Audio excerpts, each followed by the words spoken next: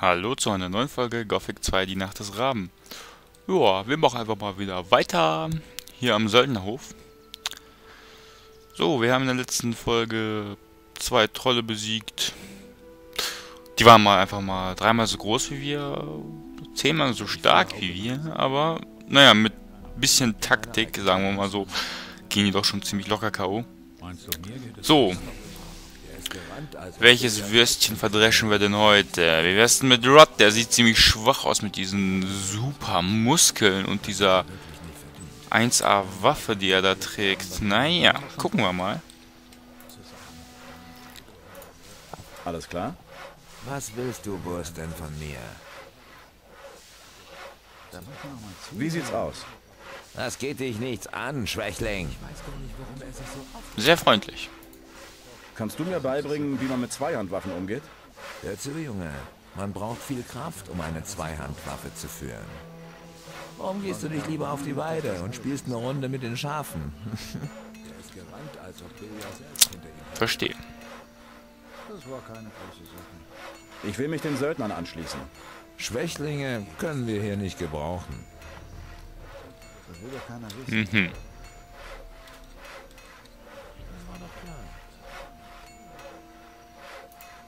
Ich bin stark genug. Unsinn, du könntest ein ordentliches Schwert wie meins nicht mal hochhalten. Ich sagte, ich bin stark genug. Ich lach mich tot. Willst du es auf eine Wette ankommen lassen? Natürlich. Ich wette, ich kann mit deinem Schwert umgehen. So? Wie viel soll ich dir abknüpfen? Ach, du siehst aus wie eine arme Wurst. Sagen wir 30 Goldstücke. Hast du überhaupt so viel? Klar. Dann lass mal sehen. Hier. Dann wollen wir mal sehen, wie stark du bist. hm? Ich kann die Waffe nicht anlegen. Sag ich doch. Und Ja. jetzt gib mir meine Waffe wieder. Hm. Nein. Ich denke nicht. Was war das? Ich glaube, ich werde sie noch ein bisschen behalten. Na warte, du Mistkerl. Ja, scheiße, ne? Jetzt, jetzt hast du keine Waffe. Jetzt hat der Typ keine Waffe. ja. Ein Kampf. Ja, so ist gut. Boah, er hat trotzdem ziemlich viel Stärke, aber ich mach ihn platt. Mach ihn fertig. Fertig. Au. Immer feste drauf. Ja, so ist gut. Lass dir nichts gefallen. Den wirst du ja wohl schaffen. Ja, sieht man ja, ne? So einen armen kleinen Bauerntölpel, den schafft er nicht. Ja, so ist gut. Lass dir nichts gefallen. Mach ihn fertig. Das gibt's doch gar nicht. Immer feste drauf. Na? Ja, so ist gut. Du Würstchen, ey, du hast doch keine Das Chance. doch gar nicht. Die sollen nämlich platt machen mit Ja, seinen so ist Fäusten. gut. Bleib dran. Immer feste drauf. Ja, den wirst du ja wohl schaffen. Das gibt's doch gar nicht. Vorsicht! Gefallen. Tja, war schon ziemlich dumm, mir deine Waffe zu geben, Digga. Oh, weh. Ja, so ist gut. Das gibt's doch gar nicht. Vorsicht! Den wirst du ja wohl schaffen. Na komm, komm, komm, komm, komm, komm. Oh. War ein netter Versuch, Digga. Naja, ich knöpfe dir mal jetzt nochmal 11 Goldstücke ab. Natürlich zu meinen 30 zusätzlich. Ah, das war wunderschön, nicht wahr? Ja, du hast vollkommen recht. Irgendwann muss das einfach mal so kommen, dass der Typ einfach mal auf die Fresse kriegt. Na? Rod? Versuch das ja nicht nochmal. Gut, du hast gewonnen. Was willst du? Deine Mutter. Hier ist dein Schwert zurück. Hier hast du dein Schwert zurück. Wurde auch Zeit. Jo. Okay. Ja, dem habe ich es jetzt aber mal gegeben. Also, der wird nicht mal so schnell aufstehen. Na, lag ich in deinem Bett? Also, das tut mir jetzt aber nicht leid. Wer bist du denn? Gunnar. Wie sieht's aus? Seit Ona verlauten ließ, dass er Söldner anheuert, quillt der Hof fast über vor lauter Galgenvögeln. Das ganze Gesinde, das sich vorher nicht aus den Wäldern getraut hat, ist jetzt hier. Die Kerle kamen echt von überall her. Die Söldner kamen von überall her? Ein Großteil kam aus der Strafkolonie. Eine weitere Gruppe von Söldnern kam aus dem Süden. Sie haben dort wohl Orks gejagt. Und ich wette, es sind auch mittlerweile ein paar Banditen aus den Bergen hier und lassen sich durchfüttern. Okay. Ja, die Söldner kamen einfach so. Die sind voll unnett. Wir dürfen da rein. Wo willst du denn hin? Na, ins Haus. Ona bezahlt uns, damit wir Typen wie dich hier nicht reinlassen. Ich will mit Lee reden. Was willst du von ihm? Ich kenne ihn von früher. Du bist ein Kumpel von Lee? Ich glaub dir kein Wort. Aber geh ruhig. Wenn er sich nicht an dich erinnern kann, wirst du schon merken. Ah, Lee ist im rechten Flügel. Lass dir ja nicht einfallen, dich woanders rumzutreiben. Ach, sei ruhig, du Hampelmann. Mein Gott, ich war selbst Söldner. Khaled. Alles klar bei dir? Wenn es was Wichtiges ist, rede mit Lee. Ansonsten lass mich in Ruhe. Alles klar. So. Hier ist noch ein Söldner, noch ein Söldner und da ist er auch. Wer zum Teufel hat dich denn hier rein? Was machst du denn hier? Ich dachte, du wärst tot. Wie kommst du denn darauf? Gorn hat mir erzählt, dass du es warst, der die Barriere zum Einsturz gebracht hat. Das war ich auch. Ich hätte nicht gedacht, dass ein Mann so etwas überleben kann. Was treibt dich her? Du bist doch nicht ohne Grund hier. Ich muss dringend mit den Paladinen in der Stadt reden. Kannst du mir helfen, zu ihnen zu kommen? Was willst du von den Paladinen? Das ist eine lange Geschichte. Ich habe Zeit. Also Xardas hat mich auf eine Mission geschickt. Er will, dass ich ein mächtiges Amulett beschaffe. Das Auge Enos. Du bist also noch immer mit diesem Dämonenbeschwörer im Bunde. Verstehe. Und die Paladine haben dieses Amulett. Soviel ich weiß, ja. Ich kann dir helfen, zu den Paladinen zu kommen. Allerdings erst, wenn du einer von uns bist. Oh Mann.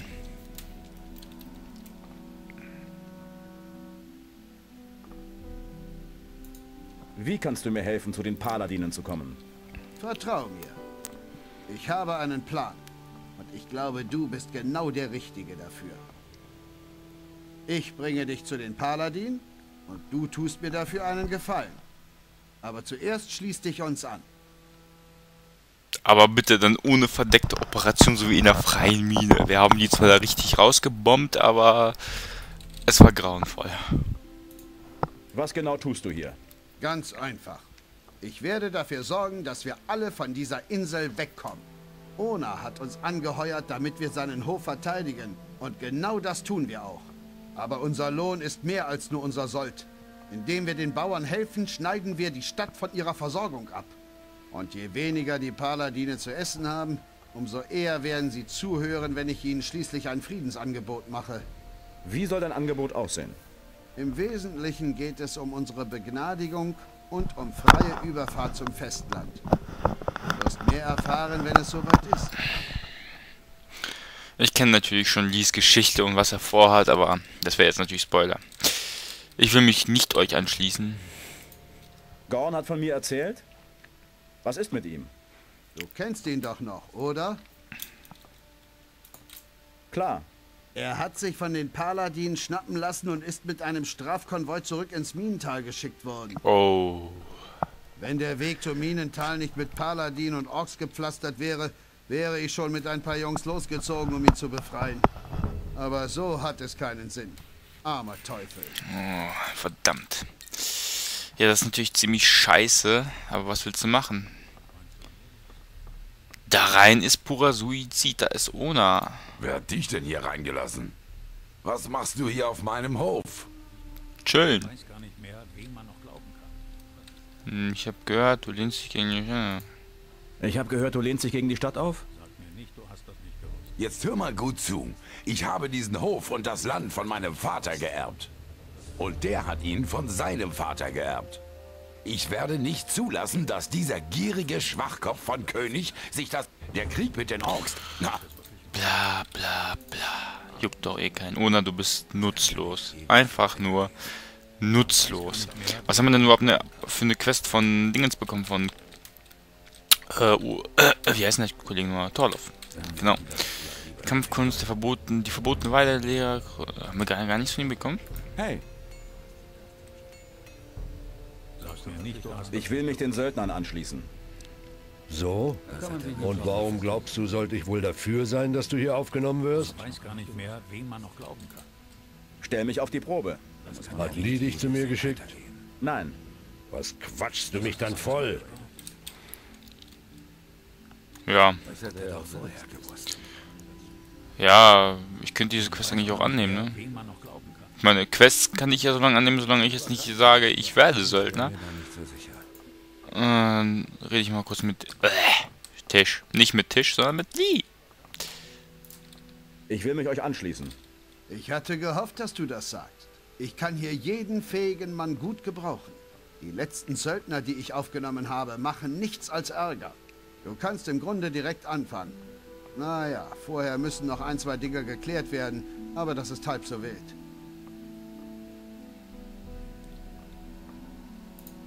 Was muss ich klären, bevor ich bei euch mitmachen kann? Ona, der Grundbesitzer, ist derjenige, der uns hier beschäftigt. Nur mit seinem Einverständnis kannst du auf dem Hof bleiben. Und dann sind da noch die Jungs. Erst wenn die Mehrheit der Söldner dafür ist, dass du mitmachst, kann ich dich aufnehmen. Aber geh nicht zu Ona, bevor nicht alles klar ist. Er ist ein sehr ungeduldiger Zeitgenosse. Ich auch. Wie kann ich die Söldner von mir überzeugen? Am besten, indem du das machst, was von dir als Söldner erwartet wird. Rede mit Torloff. Er ist meistens draußen vom Haus. Er wird dich auf die Probe stellen. Wenn du dabei nicht versagst, hast du dir schon einen großen Teil des nötigen Respekts verdient. Er wird dir auch alles andere erzählen, was du wissen musst. Was weißt du über den Ring des Wassers? Das hätte ich mir ja denken können. Du musst dich natürlich wieder überall einmischen. Komm schon, spuck's aus. Ich habe nur am Rande damit zu tun. Ich weiß, dass es hier diese Untergrundgilde gibt und dass die Wassermagier dahinter stecken. Seit dem Fall der Barriere bin ich nicht mehr an das Abkommen gebunden, das ich damals mit den Wassermagiern eingegangen bin. Wenn ich helfen kann, tue ich das natürlich auch heute noch.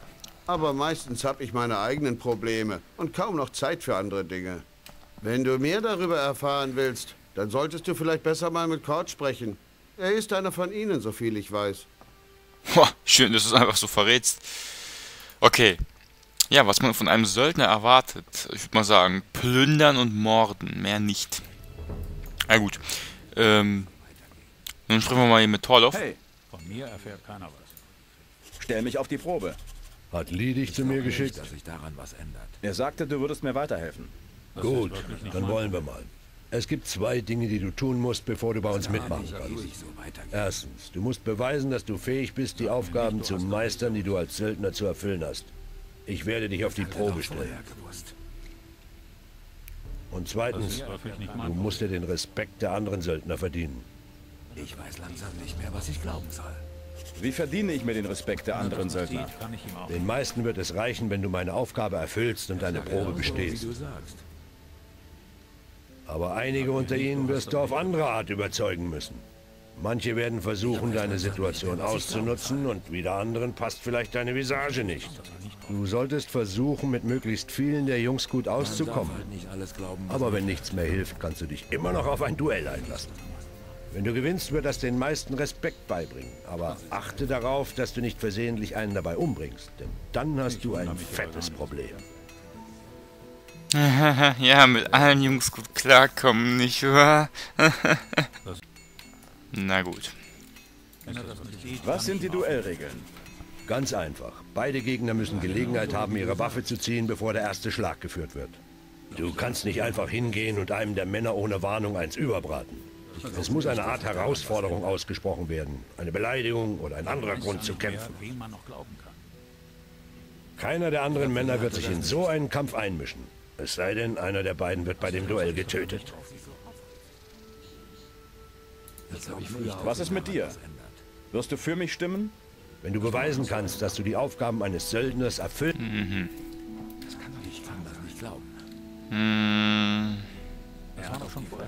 Welche Aufgaben habe ich als Söldner zu erfüllen? Ona hat uns aus zwei Gründen angeheuert. Er will, dass wir ihm die Milizen vom Hals halten und dass wir auf seinen Höfen für Ordnung sorgen. Dazu zählt auch, dass wir die Pacht eintreiben, wenn die kleinen Bauern mal wieder nicht zahlen. Also, was darf sein? lass mich die Pacht eintreiben. Lass mich die Pacht eintreiben. Gut, hör zu. Der Bauer Sekop hat schon seit Wochen keine Pacht mehr an Ona gezahlt.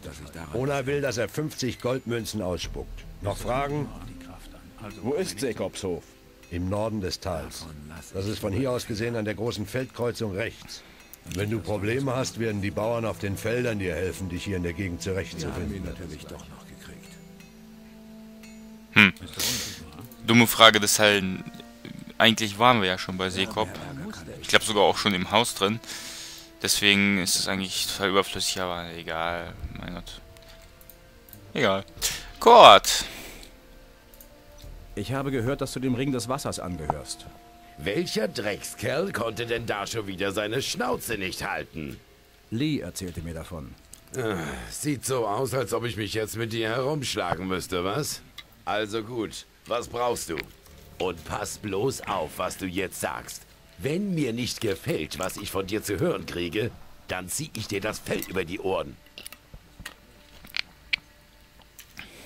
Einfach mal einen Schluck trinken erstmal. So. Ich will deine Waffe. Hm. Das könnte wahrscheinlich böse ausgehen. Das ebenfalls. Äh, Das wäre scheiße. Bring mir bei, wie man kämpft. Du könntest mir helfen, bei den Söldnern aufgenommen zu werden. Kriegst du für Erfahrung? Du könntest mir helfen, bei den Söldnern aufgenommen zu werden. Das kann ja heiter werden. Gut, werd's versuchen. Was noch? Hm, bring mir bei, wie man kämpft. Bring mir bei, wie man kämpft. Na gut. Was noch? Ähm, das reicht mir. Das reicht mir. Wenn's mehr nicht ist? Und wehe dir, wenn mir zu Ohren kommt, dass du die Klappe nicht halten kannst. Und das sage ich nur einmal. Klar? Alles klar, Chef. So. Seine Stimme haben wir schon mal. Wir müssen die Pacht eintreiben. Ja. Meine Meinung will ja keiner hören. Ja, die will wirklich keiner hören. Aus gutem Grund. Die ist nämlich total scheiße. Raoul! Willst du dich nochmal mit mir anlegen oder was? Ich habe so Gehört. Ich will mich Lee anschließen. Lee hat dir bald nichts mehr zu sagen, wenn er so weitermacht. Was soll das heißen? Er will, dass wir hier alle sitzen und Däumchen drehen, ab und zu mal ein paar Bauern einschüchtern und das war's. Silvio sagt immer, Angriff ist die beste Verteidigung und da hat er verdammt recht. Er ist gerannt, als ob Bill ja selbst hinter ihm her wäre. Ich glaube, der Kollege hier braucht wirklich was aufs Maul. Er ist gerannt, als ob Bill ja selbst hinter ihm her wäre. Na gut. Da hinten ist noch ein Söldner. Ich überlege gerade, was wir jetzt... Ah, warum drücke ich denn eigentlich immer die falsche Taste? So. Mm, ja. Gildenlos. Stufe 6. Ach, Stufe... Ah ja, stimmt. Ich bin ja Level abgekommen. Hm. Fester. Hey,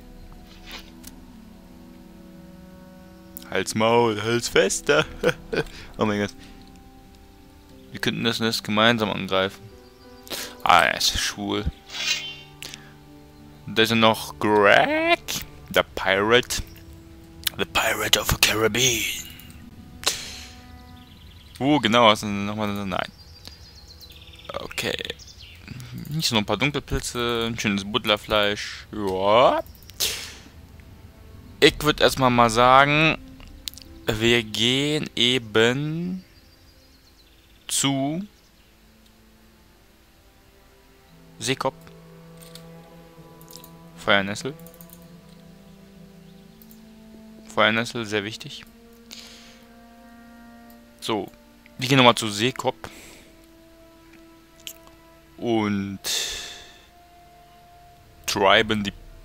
Was? Degen der Banditen? What the fuck? Wo kommt der denn jetzt her? Wir triben jetzt eben nochmal die Pacht ein. Das speichere ich nochmal lieber ab, denn das könnte unter Umständen ungemütlich werden. Weil wer gibt denn schon freiwillig äh, Geld her? Ich glaube, ich habe ein bisschen... Was habe ich denn da geschrieben? Too busy... Too busy... Einfach nur too busy? Was habe ich denn da für einen Mist geschrieben? naja, scheiß drauf. Gehen wir mal eben mit. Sie Was willst du auf meinem Land? Hier gibt's nichts zu klauen. Scher dich weg. Gibt es in diesem verfluchten Land eigentlich ein Fleckchen Erde, das nicht irgendjemand gehört? Geh arbeiten, dann kannst du vielleicht auch irgendwann mal ein Stück Land dein eigen nennen. Aber bis dahin lungerst du gefälligst woanders rum. Du kleines Würstchen, das ist nicht mal dein Land, es gehört Ona. Das Land gehört dem Großbauern. Du bist ja nur der Pächter. Ona will, dass du endlich deine Pacht bezahlst. Du bist schon seit Wochen überfällig. Was? Und da schickt er einen Halunken wie dich? Das glaubst du doch selber nicht. Mach, dass du wegkommst, bevor ich mich vergesse. Bitte?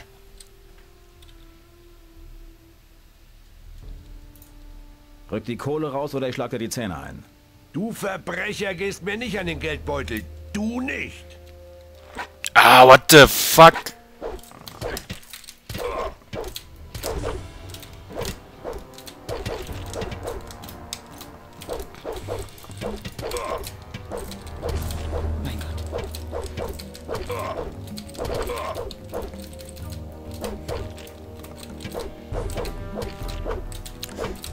Ah, du kleine...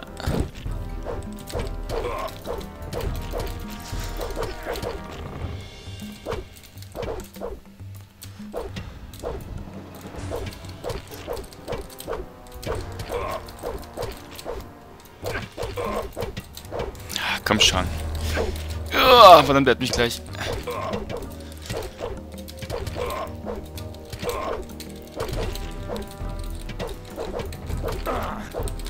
Huh, eben schnell mal Heiltrank benutzt.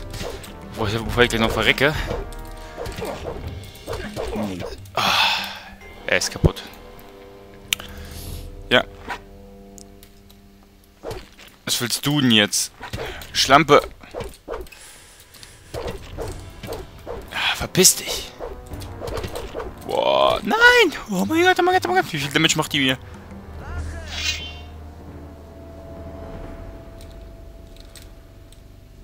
Wache!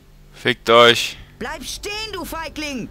Deine Mama ist ein Feigling. Ja, renn so schnell du kannst. Oh mein Gott, Alter. Oh.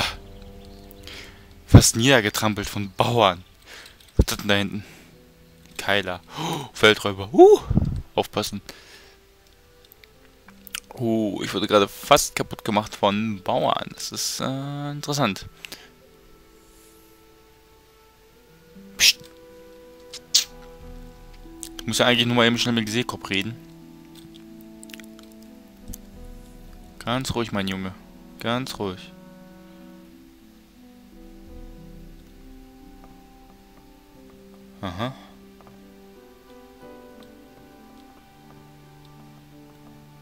Ist ja schon gut, du hast gewonnen. Was willst du?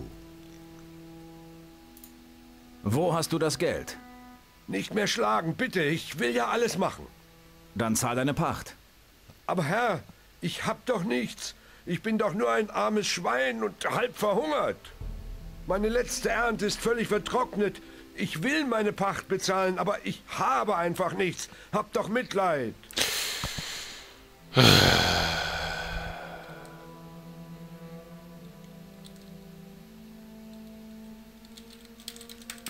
Was soll ich machen? Rede keinen Unsinn. Hier regnet ständig und deine Vorratskammer ist voll. Bezahl jetzt deine Pacht oder ich bring dich um. Nein, bitte, hier nimm das Gold. Ich leg sogar noch einen Bonus drauf, wenn du mich nur leben lässt. Es geht doch. Das ist mein Ruin. Ist mir egal, Alter. Ah, meine Fresse. So. Weil es so schön ist, schlafe ich jetzt noch in deinem Bett.